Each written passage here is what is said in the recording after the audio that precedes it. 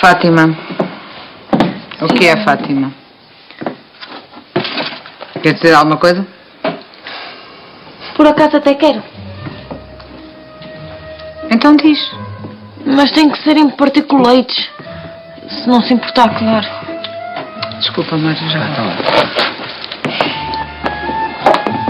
Eu não lhe roubo muito tempo.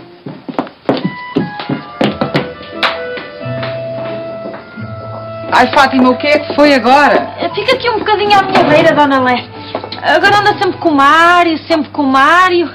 Depois até me começa a ficar assim, a sentir sozinha aqui no meio dos tachos todos.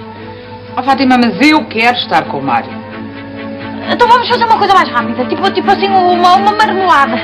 Ah? Uma marmelada. O que é que se passa? Tens alguma coisa para me dizer e não queres dizer? Não gostas do Mário, é isso? Não, não é não gostar do Mário, Dona Lé. A situação aqui é outra. É que ele tem duas caras.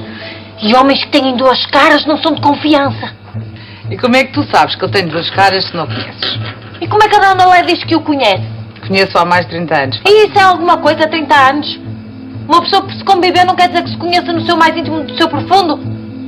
Mas, ora diga-me lá qual é o prato dele preferido. Quais são as cerolas que ele mais usa? ele por acaso é de andar aí a pôr bombas a torcer direito nas coisas, a mandar as coisas abaixo. Bombas? Sim. Olha, Dona Lé, eu não aguento mais. Eu vou-lhe contar tudo. Eu li as notícias todas sobre aquele homem. Temos aqui em casa um terrorista! Não se ri? Fátima. Eu conheço muito bem o passado do Mário. Aliás, nós conhecemos nessa altura. Até eu escondi na minha casa durante mais de um mês.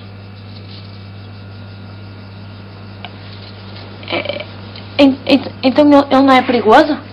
Nada perigoso. Não? Podes ficar descansada. Ai, que alívio, Dona Lé.